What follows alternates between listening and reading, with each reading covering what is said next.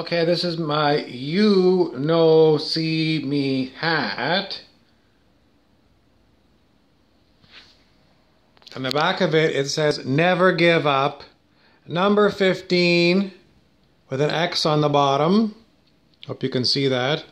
And it looks like uh, somebody giving you like an OK sign, but it also looked to me when I first looked at like a beer stein. Okay. So today's topic is age 11. Age 11 uh, is an age when you are at one of the peaks of your intelligence when you're a human being, believe it or not. Because beyond age 11, you start getting into puberty and um, sex hormones start pumping through your body and they make you kooky and crazy and horny. And uh, someone who's 11 years old and sees their older siblings or their you know, their friends, older siblings that are teens. Um, in some ways, it's a little bit exciting, but in some ways, it's like, uh, do we really have to go through this? I mean, they're acting all crazy, you know. They want to leave their friends so they can go hang out with their girlfriend, and you know. And when you're 11 years old, it's like, mm, I don't want to deal with that. Uh, my shirt is 73. Uh, it's because it's Sheldon from the Big Bang Theory's favorite number, and he does wear a t shirt like this, apparently. I am drinking from my perennial sippy cup. Sip happens. And this is the issue is that with the camera on this phone, I can't always see uh, where it's pointed at. So, you know, I'm kind of thinking it's there, but really it's more like that. And it's the same thing when I'm showing you You Know See Me, and I'm showing you these items. Okay, what else do I want to talk about? So that's all I want to remember. I want you to remember when you were 11 years old, your duty is to go somewhere and get a pad of paper and a pen and remember everything that was going on when you were 11 years old. Who was your teacher? Or maybe you had multiple teachers. Who was your principal? Who was your janitor? Uh, let's see. Who were your friends? What sports were you playing? What books did you read? What TV shows did you watch? What music did you hear? You can go to Billboard on uh, the internet and look up the year when you were 11 years old. Uh, did you go on any trips when you were 11? What were the political events that were going on when you were 11 years old? Uh, what were the dramas that were going on with your friends? Uh, what did you think about the teenagers when you were 11 years old? What did you think about the little children when you were 11 years old? What did you think you wanted to do when you were an adult when you were 11 years old? Who did you admire? Who, who inspired you when you were 11 years old? Who were your sports heroes when you were 11 years old? Who did you really think stunk? People that, you know, you just thought, oh, what an asshole when you were 11 years old? And continue on down the line. Uh, write as many pages as you can, uh, or you could just pick up your smartphone and start talking about age 11. Okay, uh, what else do I want to talk to you about? Okay. Okay, I'm a person wearing my hat backwards. What does it mean? Doesn't mean too much. 73, 1973, what does it mean to me? I was eight years old in 1973. 1973, uh, it was um, kind of the finale of the Vietnam War. Uh, we'd had Richard Nixon. Uh, I think by 1973, he was basically, uh, he had to resign because he was a crook. And his famous um, picture is him going, blah, blah, blah, I am not a crook, because he had really big jowls, but that's what he did. He would give this the peace sign. He wasn't a peace person, but there were a lot of peace, prote- peace protesters in those days that gave the peace sign. So he would put two hands up, like this, and he would go, I am not a crook. Well, he was a crook. But he was also an alcoholic, and he was also a Quaker. And a Quaker is a, a, strange branch of Christianity. It's a very minor sect. And what they are supposed to do is, I think they're supposed to do a lot of meditation. Uh, I think his mother was a Quaker, and that was what he was brought up as, but I don't think he meditated. He hit the bottle. And in one interview, Henry Kissinger, who was his Secretary of State at the time, said something to the effect of he was so uh, intoxicated most of the time that sometimes he would give orders and um, the rest of the cabinet who was who weren't drunk uh, countermanded his orders and basically, if he would give orders to the military to do this or that, uh, the rest of the cabinet would take the generals inside and said, "The man is stinking drunk. He is incompetent, and you cannot carry out um, the orders of a drunken lunatic." In other words, we're in the middle of the Cold War with the Soviet Union, and if the man is drunk and he orders you to launch a nuclear strike, you cannot do it. He is incompetent, and we can't you know, what else can we do? The man is technically the president, but he appointed us, and we're the ones that are the ones that, that have to follow his orders, and we can't follow his orders because the man is insane. And it was true. He, uh, for the election, 1972, Richard Nixon got a bunch of thugs who are still around today, Paul Manafort, for example, but there was a number of them that were criminals. And he sent them off to, he was a Republican, and he sent them off to the Watergate Hotel, which was the headquarters of the Democratic Party, to break in to the headquarters of the Democratic Party because he wanted to steal the election. So he was a crook. And it's funny because Manafort works for the Republican Party to this day, and uh, the president, of course, Mr. Trump, is a Republican. Uh, I'm not sure how many of these other ones are around. Some of them have probably died by now, but um, Haldeman was another one. Some of them, uh, like in the Department of Justice, that was the Department of Justice was tasked with investigating uh, Watergate, but it was kind of a conflict of interest because Watergate was all about the president, what he knew and when he knew it. And so the chief investigator, uh, I guess the Secretary of Justice Department, uh, reported and was appointed by the president. And then they had to have special prosecutors, just like the special prosecutor Mueller was was tasked with investigating uh, what was going on with Trump and the election and the Russians. So it's a problem with American democracy that if there is trouble with the politicians, it's basically politically appointed people that are tasked with investigating their boss. Very delicate matter. And in some cases, the uh, uh, under Nixon, uh, there were cabinet members who resigned rather than carry out Nixon's um, orders. And eventually it came to the, the same thing as Trump. He wasn't as bad as Trump. You know, Trump keep, keeps firing people, unbelievable.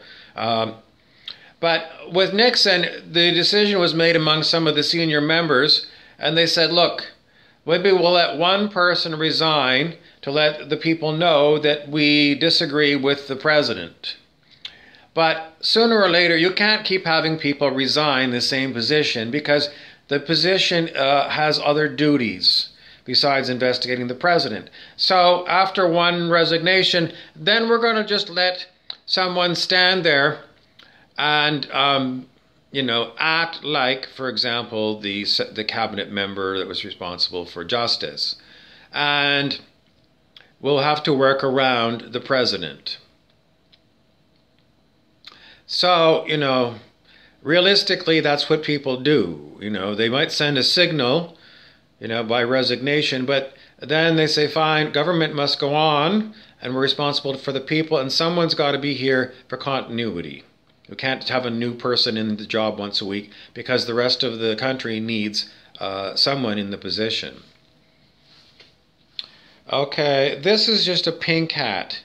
Uh, Komatsu is a Japanese construction. Um, okay, what has uh, Japan got to do with today's talk? Uh, after World War II, when Japan surrendered, it was a military dictatorship and they acted in the name of Hirohito, who was the emperor. But Hirohito was not giving the orders. It was a general named Tojo, who was the head of the military junta, which is a, kind of a, a, Spanish name, and it was used a lot of times, or it might, be, might have been junta. I can't pronounce it in Spanish. I don't know Spanish, but that's how, the word, and it basically means uh, a gang of military officers who are running the country. Um, what else can I tell you? Okay, so I was going to tell you about the Gang of Four. The Gang of Four was a gang of, they weren't military, but they were um, Communist Party leaders uh, who ran China for a while. China when it was still communist before it became capitalist. I mean, even today, the government of China calls itself the Communist Party of the, of the People's Republic of China.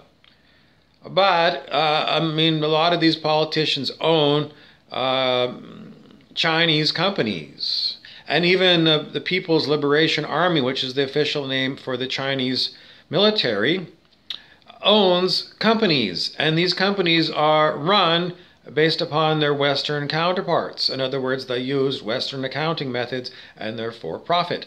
And the profit goes to, uh, you know, the primary owners. In one case, it would be the army. Other cases, it would be these politicians who got there how? Uh, it's a power struggle to get to the top of the Communist Party. And uh, I don't think they're past using all kinds of things like assassinations to get to the top.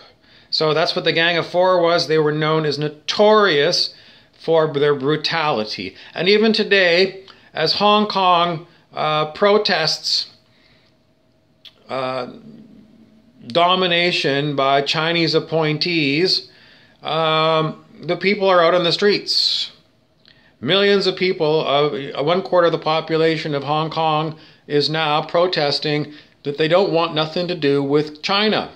Because China, it sounds like a big, comp- a big company, it's not a big company. It's a small number of capitalists. It's just like uh, anywhere else in the world. It's a small number of capitalists.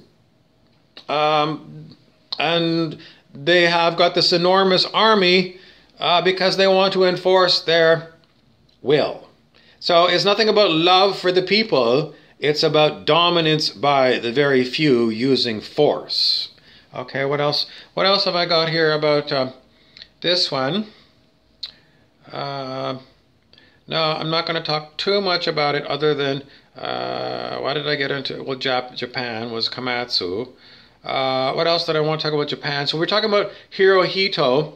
After uh, the nuclear bombs were dropped on Hiroshima and Nagasaki, Japan, uh, the Japanese government uh, soon after surrendered and the terms of surrender were unconditional surrender to uh, General Douglas MacArthur, the Supreme Commander of the Pacific Campaign.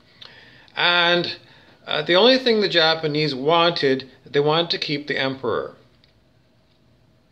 So this was given by the, I assume it was the American government, acquiesced, and Hirohito kept his throne.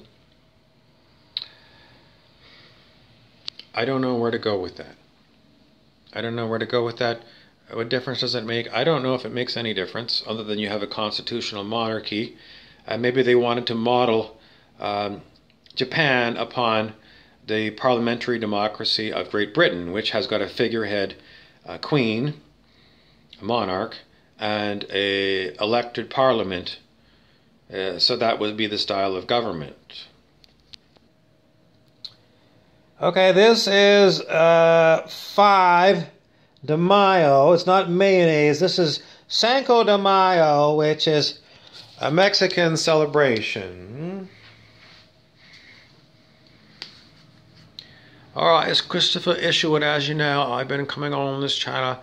I'm a playwright and novelist, and I just want to talk to you a little bit about something to do with, nothing to do with Cinco de Mayo in Mexico right now.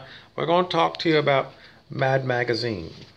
Mad Magazine announced that it's going to stop publishing again. It stopped publishing for a while, and then someone revived it, and apparently the sales of Mad Magazine are not high enough to keep the magazine going. So they announced in, de- in December of 2019 that will be the last issue again. On the cover, we've got uh, Quentin Tarantino's latest movie and Leo DiCaprio in a cowboy hat with a pistol, and he's wearing uh, boots with spurs. Alfred E. Neuman, who is the mad mascot from Forever Ever, Forever is the outlaw with his picture here. Uh, up here, the price that used to be uh, 1977, 50 cents cheap. They always say cheap. Now it's a new number. And over here is the issue name. What else can I tell you? Uh, Eck. I don't know what he means here. It means Eck. E C C C C H Eck. On the back, we've got an advertising for Cadillac Jewelry. A Cadillac on the bottom, some pearls, and woman's boobs that are covered by a green gown.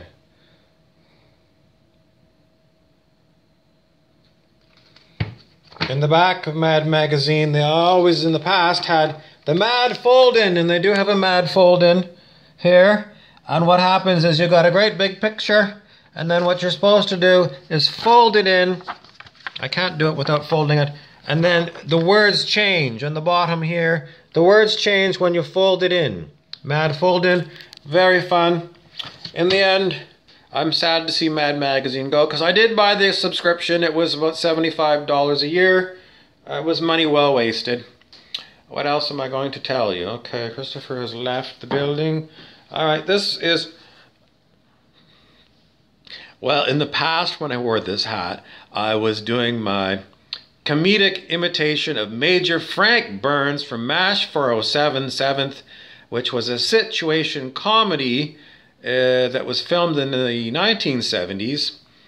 Uh, it was set in the Korean War, which was the mid 1950s, after World War II, and it was a, big dispute between uh, the North Koreans, who were allied with Communist China, and the South Koreans, who were basically a very poor nation at the time, and uh, the Western powers did not want Korea to become communist.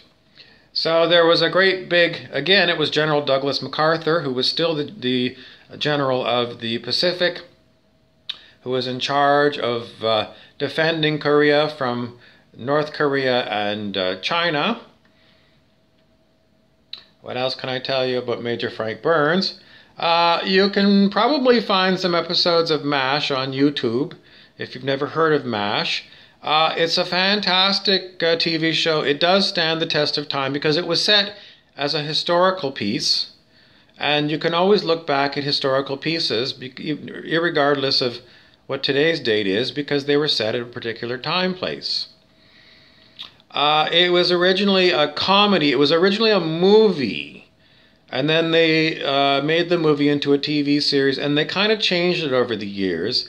It was kind of stupid humor at the beginning, very stupid, um, juvenile humor, uh, very sexist humor, very, very sexist. And over time, uh, the series evolved into a study of uh, humanity. It was still funny, but it it uh, it just developed. It matured. The series matured over the years. Major Frank Burns, who I did an imitation of maybe it was a year ago, um, was a very juvenile character, and eventually he left the show.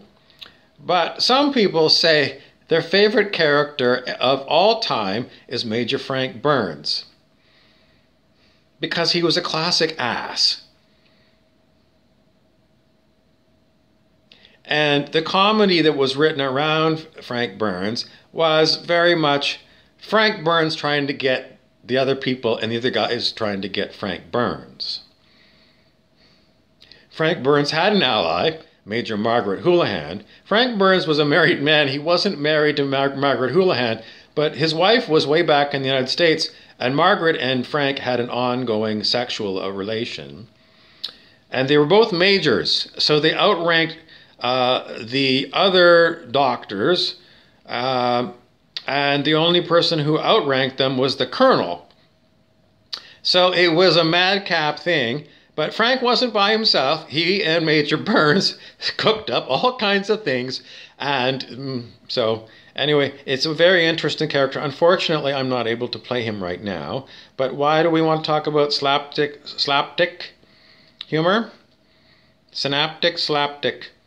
I was trying to say slapstick, which is kind of physical humor. Slapstick sounds like something to do with your dick pic which is something that people on Tinder like you to do. Send them your dick pic. And let's see what else. Dip, dip, dip, dip, dip, dip, dip, dip, dip. That's like dipping your dipstick into your oil pan to see if you need more oil. I don't know where we're going with this.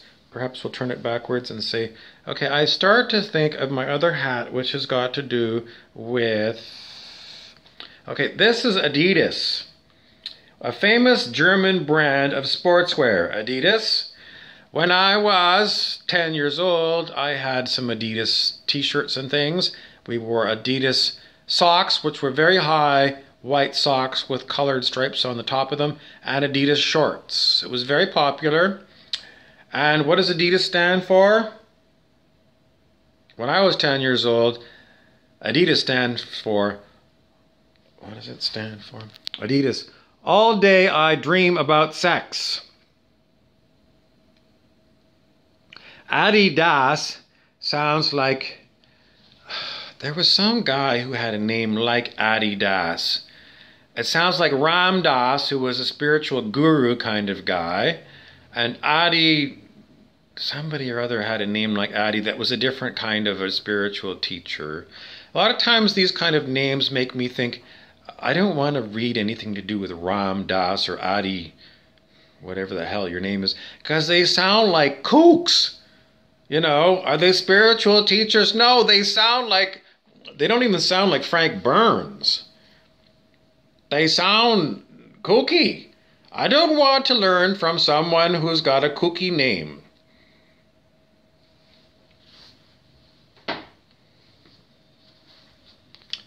Uh, okay. This one is, um, what does it look like to you? It looks like TJ. So TJ was a person I used to work with at a car dealership. TJ and I used to go out and shoot the shit when there was no customers around. And uh, when I first came to the car dealership, TJ was one of the salesmen who kindly helped me learn the ropes of being a car dealership salesman. Uh, we had a neighboring um, related dealership next to us, and TJ said, You never want to work there because those people are scumbags. I had to laugh because uh, after I'd been at this particular dealership, the first thing that I wanted to do was bolt and go to the other dealership. Well, it was just that you could make more money at the dealership. The other dealership, you could make more money. The commissions were were better. Why am I saying the commissions are cheaper, better? Well, better or worse, it was just, it wasn't even a rivalry. It was just a stupid thing. But uh, what else did TJ tell me? Well, this also looks like LT. Instead of TJ, it looks like LT, which is lieutenant, which is the junior grade of military officer. Second lieutenant is the lowest, and then first lieutenant. Uh, I don't know where we're going with Lieutenant. LT. Lieutenants, um, they're basically the ones that work with the grunts. In other words, the uh, non commissioned officers would be like the sergeant, and then down the rank, corporal, uh, who's sort of the senior grunt, and then just the private, who is just the grunt. Uh, so the lieutenants were the ones in the Vietnam War who had to go out with the people that had to do the fighting. And the higher officers would be uh, sometimes i mean sometimes they showed even colonels being in the middle of the action. I mean they're but you know basically these were the ones that went on patrols. So they were the officer they had the officer's code of conduct and um, anyway i don't know where i'm going with lt lt light light what is it LT. Well, you could have a lieutenant colonel who was like uh, they called it a light colonel. You weren't a full bird colonel. You were a light colonel. I don't know where we're going with that. Okay, this is a t shirt of the Toronto Maple Leafs Hockey Club. If you see, they've got Toronto Maple Leafs and they spell leaves incorrectly because leaves, L E A V E S, is the proper way you say plural of leaf. But uh, Maple leaves uh, misspell on purpose and that is a spelling lesson. I have nothing more for Sheldon in 73. 1973. 1973, the Maple leaves were uh, owned by an owner named Harold Ballard, who was infamous for being cheap. He was very, very cheap. He was so cheap that he had uh, the maintenance staff remove all of the wooden chairs from inside of Maple Leaf Gardens, and then he had an order put out for smaller chairs to be built so that he could jam more chairs into Maple Leaf Gardens so he could make more money. Uh, very uncomfortable to sit in very tiny chairs, but uh, people still came in droves. And he was cheap because he wouldn't uh, spend the money to get a winning team. The Leafs were perennially a crappy team under Harold Ballard. And uh, he was famous for firing coaches. He would he would hire coaches that were kind of not very good coaches. He had, you know, not really great players, a few very good players, but that was mostly because Leafs fans, where's my Maple Leafs? Leafs fans uh, made them super great players. But really, they were just average Joes in the league because they didn't win.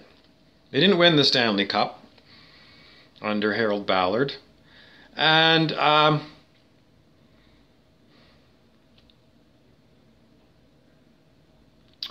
the famous thing that Harold Ballard, he was a bit of a nut because he didn't like European players.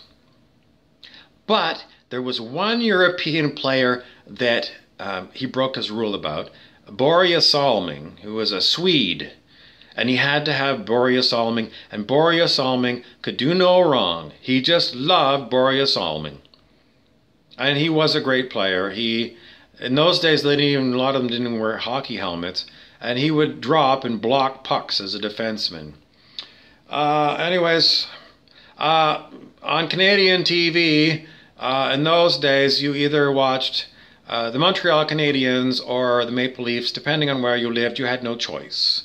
So in 1973, uh, we had mostly Leafs games. Occasionally we saw the Montreal Canadiens, but mostly it was the Maple Leafs. There was no choice, there was no other channels. Sip happens. Okay, what else do I want to tell you about? Okay, this hat is never give up. If you're a hockey team, do you ever give up? Well, you get booted out of the playoffs. I guess you have to go play golf for the summer and try, try again. This hat that I'm going to put on looks like a cougar or a mountain lion. It's kind of a shiny one. It looks like almost like uh, silk or something. So what do you think about silk when it comes to mountain lions? Hmm. Mountain lions. Lion, lion, lion, lion. Lying. Lying.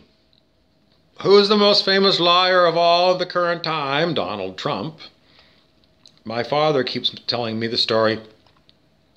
Recently, it was uh, put out there that Donald Trump um, claimed that he'd won some prestigious award from the state of Michigan. And when the reporters went to look, uh, there was no such award, and of course, Donald had not won it. So he's a famous fibber. What else do we have about cougars? Cougars, uh, I mean, that's what you call like a 38 year old uh, woman who goes to bars to pick up 26 year old men. I was going to say more like a 45 year old woman who likes to pick up 18 year olds, a cougar. There used to be a Mercury Cougar car that my old principal, when I was in grade 7 and 8, drove. Mercury Cougar. I don't think they make uh, Mercury anymore. Uh, Ford owned the Mercury brand and Cougar. It's time to go.